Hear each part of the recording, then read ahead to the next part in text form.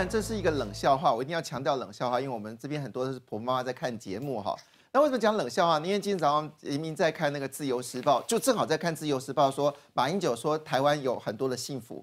那我刚完看报纸的时候，台北市就地震了。好，当然这绝对是一个冷笑话，绝对没有相关，只是我今晚看报纸稍微晚了一点点，嗯，干笑两声。嗯，好，我们来看一下到底马总统。到底在今天《自由时报》讲什么？就我自己笑了哈。来，马英九执政七年哦，然后问你一件事：你幸福吗？好，来，那么马政府呢？台湾说台湾更幸福了，这到底怎么回事呢？因为我们先来看一下，因为马总统任职呢已经快到七周年了，呃，今天是四月二十号，哎，的确再过一个月呢，就是任职满七周年了。所以呢，行政院透过各个部会哦，就要做一个文宣，叫做“七年来台湾更幸福了”啊，这是要这是确认的为主轴，透过各种广告管道呢来宣传这样的好处哦。那包括包括内政部、外交部、交通部、劳动部跟国发会都有这些，他们说台湾更幸福的文宣呐。那特别是内政部说啊，我们的这个呃犯罪率下滑了。那外交部一定说活络外交嘛。那么交通部说啊，你看我们这个电气化，而且观光人数很多啊。呃，劳动部说啊，工资价格有连续呃上涨啊。那国发会说啊，经济这个复苏稳定。哎，听起来好像很有道理啊。可是为什么这些人真不乖啊？你们怎么可以反对马总统的说法呢？好，我们先看这两个是政府官员说的啊，政府市政成果说明为每年例行业务，所以大家不要想太多。那么孙立群就说此为宣传，为政见之检讨，是例行工作，没有特别之处。好，所以一个是例行，一个是例行啊。好，所以看起来我们是不是太太过这个啊紧张了呢？好了，但是其他人就表达的答案就不一样了。其中有一个正好我们在现场，所以我们就先讲这个人讲什么啊？好，他叫做国民党立委纪国栋，他说聊胜于无啦，人民对于政府的政绩呢无感，岂是一个闷字可了得？嗯，因为他刚付四百多万 哦，不是没有没有的，这个是冷笑话。好，那那另外两位呢？民党管碧你就说了啊，你先不要谈了，高大辽的劫狱事件，还有云林银行这个抢案，治安稳定吗？现在云林抢案还还不知道结果怎么样呢？那么大辽这个劫狱案还在搞不清楚，到底是这个枪到底有没有在谁手上？好，但是人民最气的是离幸福越来越远，马这是哪壶不提提哪壶。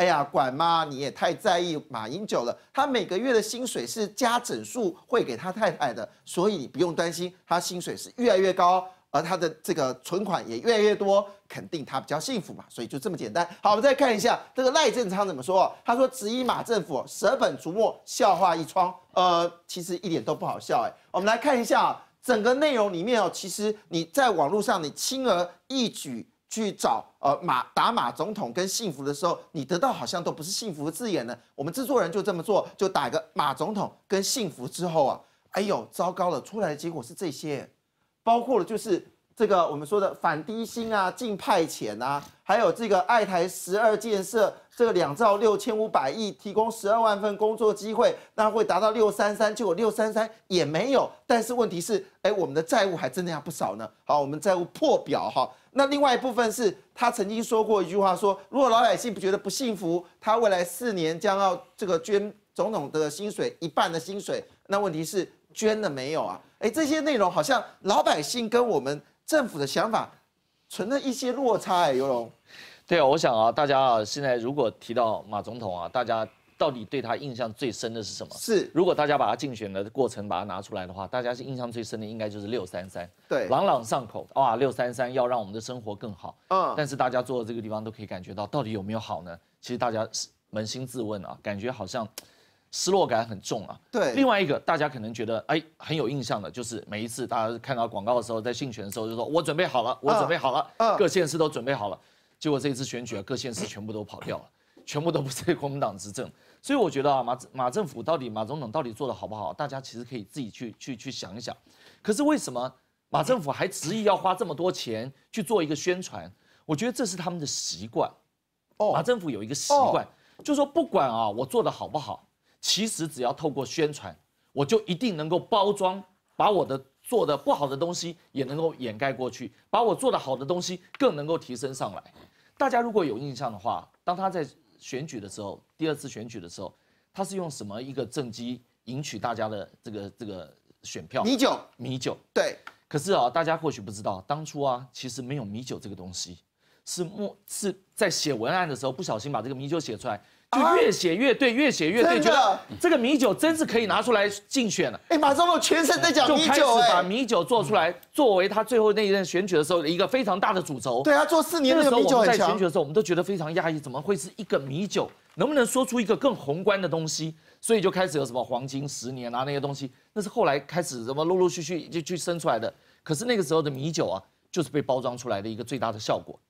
那我想啊，马政府他们也习惯了，就觉得说，我现在仍然用这一套方式，时间到了，我就花一点钱，我去做一些行销宣传，告诉你说，我们到底做了哪些很好的事情。嗯。但是我觉得啊，回过头，马政府自己应该想一想，他就算做的再多，人民是不是有感？嗯。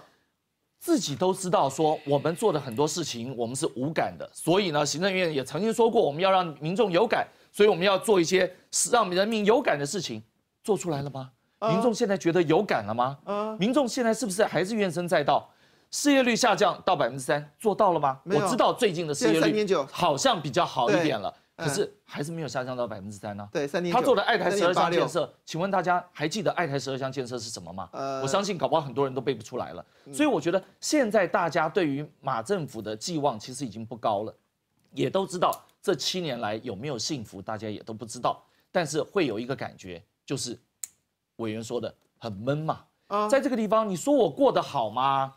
我想好像也是靠我自己平平稳稳的在过。你说我过得好吗？没有啊，好在哪里？就是一本护照可以让你走遍全世界吗？但是这本护照我没有钱，我到哪里全世界去走呢？对呀。所以我觉得在这一点上面啊，马政府真的要去想一想，台湾是不是真的更幸福了？只剩下一年的时间，到底该怎么做？他应该要想出一个方法吧。到现在弊案缠身，搞得自己浑身是伤。这个解释不清楚，那个解释不清楚，完全困在自己的，在这个这个这个这个坐困愁城在这个里面，还有想到民众的生活吗？我看他自顾不暇了吧？对，似乎好像没有办法替自己解套，所以这个钱啊，我觉得是多花的。但是这个钱呢，会花得很开心，为什么？因为呢，会在各家媒体啊，会下下广告啊，会找人来这个这个刺激经济嘛，说说一说到底有多好啊，拍拍影片啊，可能在这一方面可能会稍微好一点。其他确实看不出来。哎呦，糟了，这样子听起来有点寒，这个寒毛直竖了。可是我们知道，最了解网络的当然是我们宅神哦。那我不知道宅神看到马英九说他说很幸福的时候，他会不会想到事情啊？军营办啊，一半在哪里？等我们看看宅神怎么来看马英九式的幸福。